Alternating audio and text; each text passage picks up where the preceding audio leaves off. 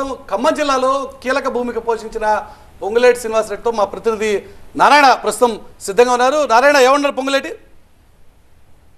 ఉమ్మడి ఖమ్మం జిల్లా వ్యాప్తంగా కాంగ్రెస్ అభ్యర్థులు పూర్తి ఆధిక్యత కనపరుస్తున్నారు. పాలేరు కాంగ్రెస్ అభ్యర్థి పొంగులేటి శ్రీనివాసరెడ్డి భారీ మెజార్టీ దిశగా దూసుకుపోతున్నారు. ప్రస్తుతం కాంగ్రెస్ అభ్యర్థి పొంగులేటి ఉన్నారు. చెప్పండి మీరు ఊహించిన విధంగానే ఆశించిన ఫలితాలు వస్తున్నాయి? ఎలా ఉంది? ఒక్క ఉమ్మడి ఖమ్మం జిల్లానే కాదు ఈరోజు యావత్ రాష్ట్ర ప్రజలు కాంగ్రెస్ పార్టీని అద్భుతమైన మెజార్టీతో అధికారంలోకి తేనున్నారు. దీనికి ప్రధానమైన కారణం శ్రీమతి సోనియా గాంధీ గారు రాహుల్ గాంధీ గారు.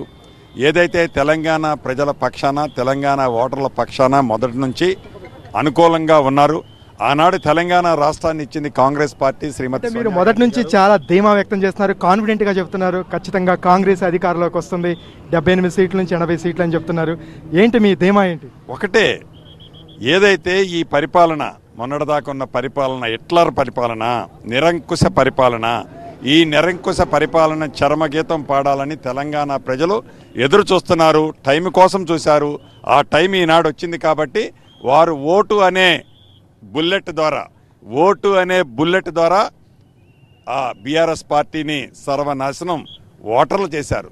మేం కాదు మేం కాదు. పాలేరుకు సంబంధించి చాలా భారీ మెజార్టీ దిశగా దూసుకుపోతున్నారు. ఇంత మెజార్టీ మీకు ఎలా సాధ్యమైంది? ఒకటే ప్రజలు ప్రేమ పంచి అభిమానం పంచి ఆత్మీయతను పంచుకుంటే కష్టాల్లో ఉన్న వారికి నేను ఉండానని అండగా ఉన్నానని తెలియజేస్తే మనకి ఓట్లప్పుడే ఆ రాజకీయాలు కాదు. ఓట్లున్నా లేకపోయినా ప్రజలకు అండదండలుగా ఉంటే ఫలితాలు అలా ఉంటాయి.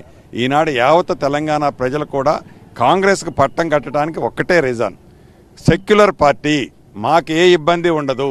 కాంగ్రెస్ అంటే ఫ్రీ ఎక్కువ. అంతా కష్టాలు పాలు పంచుకుంటుంది కాంగ్రెస్ పార్టీ అన్నదే దానికి ప్రతిఫలం. ఆనాడు నేను అంటే అందరూ వ్యంగ్యంగా మాట్లాడారు. పదికి పదా పదికి పదా పదికి పదా అని. ఇప్పుడు ఇది మేము అహంకారం మీరు పొంగులేటి శ్రీనివాసరెడ్డి పోటీ చేసిన ప్లేస్లో మొత్తం ఇరవై ఒక్క రౌండ్లు అయితే త్రీ రౌండ్స్కి సంబంధించిన అప్డేట్ ఉంది. పొంగులేటి శ్రీనివాస్ రెడ్డికి పదహారు వేల ఐదు వందల ముప్పై ఒకటి వచ్చాయి. Six thousand five fifty eight లీడ్లో ప్రస్తుతం ఆయన ఉన్నారు. సెకండ్ ప్లేస్ జిల్లాల వారీగా బ్రేకింగ్ న్యూస్ కనిపిస్తున్న ఒకసారి ఆ డీటెయిల్స్ ఇస్తే మహబూబ్ నగర్లో సిక్స్ ప్లేసెస్లో బీఆర్ఎస్ ఎనిమిది చోట్ల కాంగ్రెస్ ఆధిక్యంలో ఉంది. రంగారెడ్డి జిల్లాలో నాలుగు చోట్ల బీఆర్ఎస్ మూడు చోట్ల కాంగ్రెస్ పార్టీ ఆధిక్యంలో మనకి కనిపిస్తోంది. సో జిల్లాల వ్యాప్తంగా చూస్తున్న ఉమ్మడి కరీంనగర్లో బీఆర్ఎస్ ఫోర్ ప్లేసెస్లో కాంగ్రెస్ తొమ్మిది స్థానాల్లో లీడింగ్లో మనకి కనిపిస్తోంది. అలాగే ఉమ్మడి నిజామాబాద్ విషయానికి వస్తే బీఆర్ఎస్ రెండు చోట్ల ఆధిక్యాన్ని కనబరుస్తున్నట్టుగా మనకి తెలుస్తోంది. ఉమ్మడి నిజామాబాద్లో కాంగ్రెస్ ఐదు బీజేపీ రెండు చోట్ల ఆధిక్యంలో కనిపిస్తూ ఉన్నాయి. వరంగల్ విషయానికి వస్తే బీఆర్ఎస్ నాలుగు ప్రాంతాల్లో కాంగ్రెస్ ఎనిమిది చోట్ల లీడ్లో ఉన్ని కనిపిస్తున్నాయి. ఉమ్మడి నల్లగొండలో కాంగ్రెస్ పదకొండు ప్లేసెస్ బీఆర్ఎస్ ఒక చోట ఆధిక్యంలో మనకి కనిపిస్తోంది. సో ఉమ్మడి ఆదిలాబాద్ విషయానికి వస్తే బీఆర్ఎస్ రెండు ప్రాంతాలకు రెండు స్థానాలకు పరిమితం అయితే కాంగ్రెస్ నాలుగు బీజేపీ నాలుగు స్థానాల్లో పోటాపోటీ ఇస్తున్నాయి. ఓకే థ్యాంక్ యూ దీప్తి ఇక మనం గ్యారంటీగా గెలుచుకోబోతున్న స్థానాలు. అంటే రౌండ్ల పరంగా మెజార్టీ పరంగా ఆల్మోస్ట్ గెలుపుకి ఖాయమైపోయిన నియోజకవర్గాలు కొన్ని ఫ్యూ నా దగ్గర ఉన్నాయి అవి చెప్తాను. కొడంగల్ తొమ్మిదో రౌండ్ తర్వాత పదకొండు వేల మెజార్టీ. ఆల్మోస్ట్ ఇది రేవంత్ రెడ్డి ఖాతాలో పడిపోయింది కాంగ్రెస్ ఖాతాలో పడిపోయింది అనుకోవాల్సిన పరిస్థితి కనిపిస్తుంది. ఎందుకంటే పదకొండు వేల మెజార్టీ కంప్లీట్గా షిఫ్ట్ అవడం అనేది ప్రాక్టికల్ జరగదు. కాబట్టి కొడంగల్లో రేవంత్ రెడ్డి గెలుపు ఖాయం ఇంకా కాంగ్రెస్ పార్టీ గెలిస్తే సీఎం అవుతాడా లేదా అనేది కూడా తర్వాత తెలుసుకోవాల్సిన పరిస్థితి కనిపిస్తుంది. ఇక ఆందోళనలో ఆరో రౌండ్ తర్వాత కాంగ్రెస్ అభ్యర్థి దామోదర్ రాజనరసింహ ఇక్కడ పదకొండు వేల మెజారిటీతో ఉన్నారు. ఇంకా ఆల్మోస్ట్ ఆంధ్రలో క్రాంతి ఓడిపోయి దామోదర్ రాజనరసింహ ఇక గెలవటానికి ఖాయం అని చెప్పి అనుకోవద్దు. అనుకోవచ్చు. ఇక ఇల్లెందు ఖమ్మం జిల్లా ఇల్లెందులో ఎనిమిదో రౌండ్ తర్వాత ఇక్కడ కాంగ్రెస్ అభ్యర్థికి ఇరవై ఏడు వేల మెజారిటీ వచ్చింది.